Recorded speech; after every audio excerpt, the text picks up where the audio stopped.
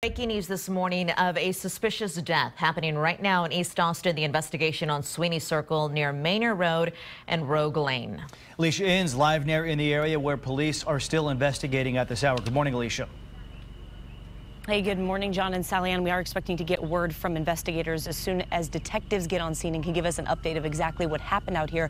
In the meantime, they do have Sweeney Circle blocked off, yellow tape surrounding this area as police, the crime scene unit, also on scene. What we, from what we understand, this call came in, a 911 call about 3 o'clock saying someone was shot.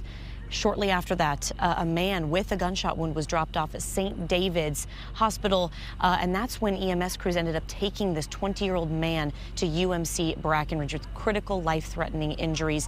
We do understand that the man has been pronounced dead by the hospital. Now police are investigating this as a suspicious death. We are once again waiting to hear from detectives as soon as they get on scene, and we'll keep you posted. As soon as we know anything, maybe they can give us a bit more information about what exactly happened out here. There's very minimal information right now now, but this area is closed off, blocked off. There's no really outlets down this road anyway, so it's not really blocking off any traffic at this point. But again, we'll keep you posted as soon as we know anything new.